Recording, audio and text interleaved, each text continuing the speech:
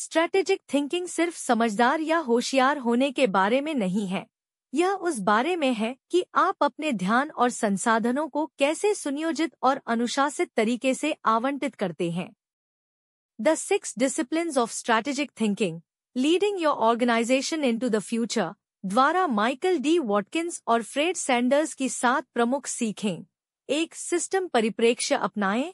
Watkins रणनीतिक सोच में सिस्टम के परिप्रेक्ष्य को अपनाने के महत्व पर ज़ोर देते हैं।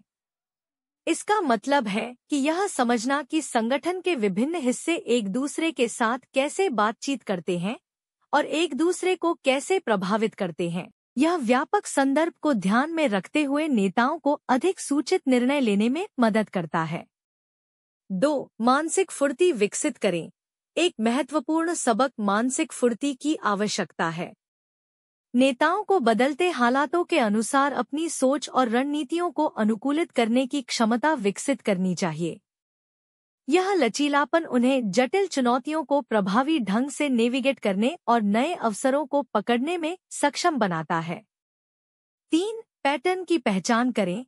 किताब में डेटा और व्यवहार में पैटर्न की पहचान करने के महत्व पर ज़ोर दिया गया है। पैटर्न को पहचान कर नेता संभावित खतरों और अवसरों का पूर्वानुमान लगा सकते हैं, जिससे अधिक सक्रिय निर्णय लेने की प्रक्रिया होती है। चार संरचित समस्या समाधान में शामिल हों। वॉटकिंस एक संरचित दृष्टिकोण से समस्या समाधान की सलाह देते हैं। इसमें जटिल मुद्दों को प्रबंधनीय घटकों में विभाजित करना, उन्हें व्यवस्थित रूप से विश्लेषण करना और कार्रवाई योग्य समाधान विकसित करना शामिल है। इससे निर्णय लेने में स्पष्टता और प्रभावशीलता बढ़ती है। पाँच, राजनीतिक समझ विकसित करें। संगठन के भीतर सत्ता और प्रभाव की गतिशीलता को समझना महत्वपूर्ण है। वॉटकिंस सिखाते हैं कि राजनीतिक समझ नेताओं को संगठनात्मक राजनीति को प्रभावी ढंग से नेविगेट करने, गठबंधन बनाने और अपनी पहलों के लिए समर्थन जुटाने में मदद करती है। छह, भविष्य के लिए दृष्टिकोण तैयार करें। एक प्रमुख अनुशासन भविष्य के लिए एक प्रेरक दृष्टि बनाने और उसे संप्रेषित करने की क्षमता है।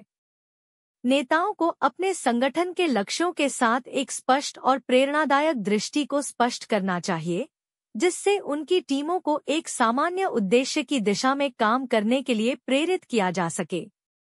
साथ निरंतर सीखने और अनुकूलन का अभ्यास करें। अंत में, वॉटकिंस निरंतर सीखने के महत्व पर ज़ोर देते हैं।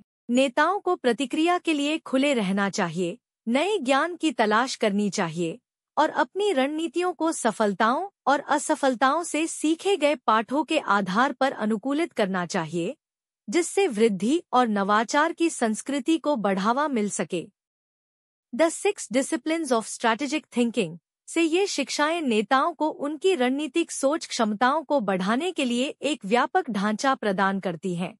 जिससे वे तेज़ी से बदलते वातावरण में अपने संगठनों को प्रभावी ढंग से नेतृत्व कर सकते हैं।